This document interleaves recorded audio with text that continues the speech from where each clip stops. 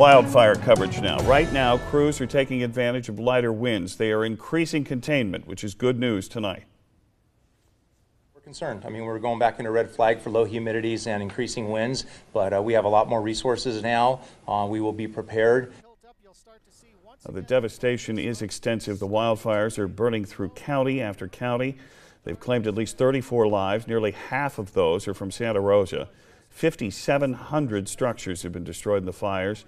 Some 221,000 acres have burned just since Sunday night.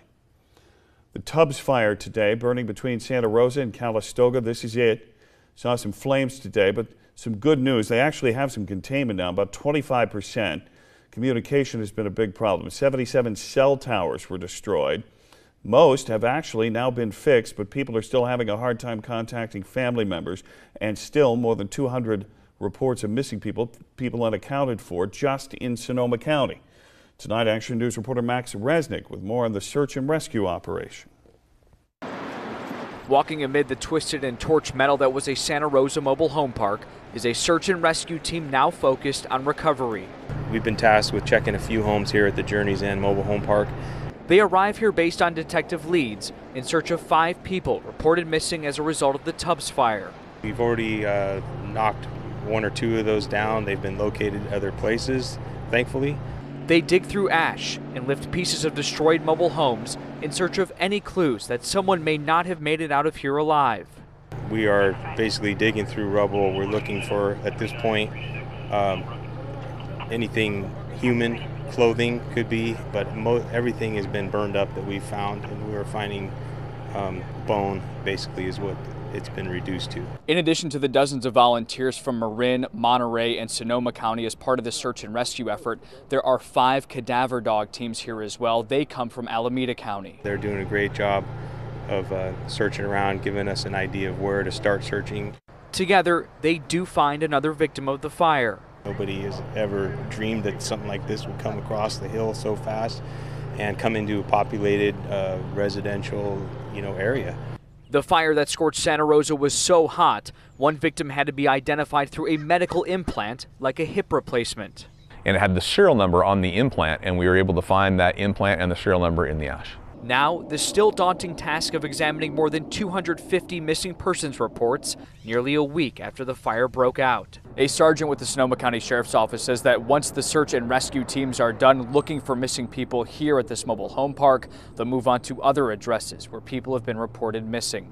In Santa Rosa, Max Resnick, KSBW Action News 8. Monterey County Sheriff's Department is also helping, as you heard, with those search efforts. Monterey County Sheriff's Department sent 10 uh, members of their team on Wednesday. Another five headed out today. A lot of ground has to be covered. Outside agencies are providing mutual aid as long as it's needed. You know, all law enforcement agencies are going to do everything they can to, uh, to uh, supply the resources they need to be able to try to locate the people, you know, like you said, the hundreds of people that, that appear to be missing at this time. This morning, deputies from Santa Cruz County Sheriff's Office left for Santa, excuse me, Santa Rosa. Three teams will be rotating in and out until Sunday. Each team has four to eight deputies. Our meteorologist Ferdinand Holum is in for Lee tonight. He's got more on the, the winds and also the air quality. Yeah, both very, very related here. So uh, we do have some unhealthy air to talk about, especially up in Santa Cruz County, up toward Watsonville and in town in Santa Cruz. It's actually unhealthy for everybody on a scale of one to six. One is good, six being very bad.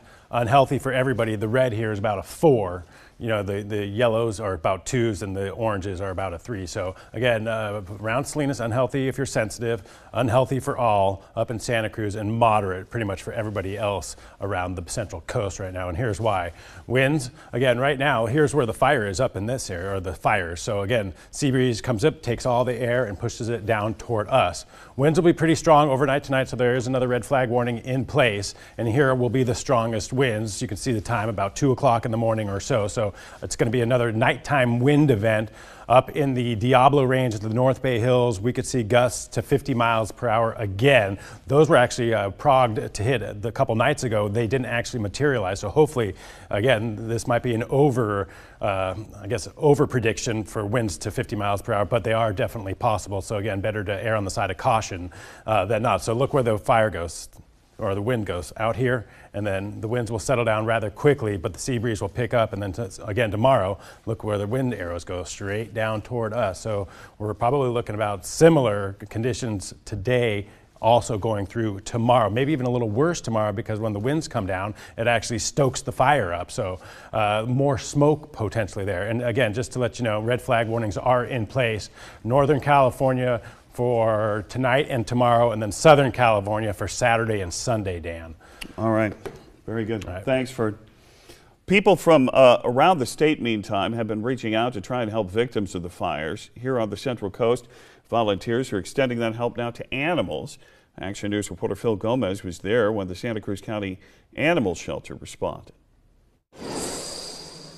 They're loading up the vehicles right now with crates. Santa Cruz County Animal Shelter volunteers and staff are picking up dogs from Mendocino County Animal Care in Ukiah and relocating them to Santa Cruz for adoption. and they desperately need help. We're going to be taking adoptable animals on their adoption floor and bringing them here for adoption. The relocation helps find a home for these adoptable animals and also opens up space in the Mendocino shelter to house animals who have been separated from their owners during the fires.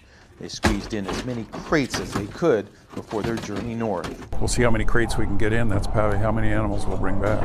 These dogs were picked up from the Napa County Animal Shelter Thursday, along with these cats, by the Santa Cruz SPCA. This will open up space for strays or to board pets whose owners are currently without their homes. Uh, we had one kitten, and then the rest were a mix of adult cats of all colors and sizes and age, just wonderful animals. And the dogs, we actually have, we took a lot of uh, smaller uh, breed. We had some small terriers and Chihuahua mixes, and we got in a fantastic uh, Malamute uh, mix. People who foster pets locally are also being counted on to take animals into their homes by both the SPCA and Santa Cruz County Animal Shelter. sounds like it, they need as much help as they can get up up north with all the fires. So I just want to help out as much as I can. Santa Cruz County Animal Shelter should return tonight with a group of adoptable pets. The seven dogs and seven cats are available for adoption this weekend. In Santa Cruz, Phil Gomez, KSBW Action News 8.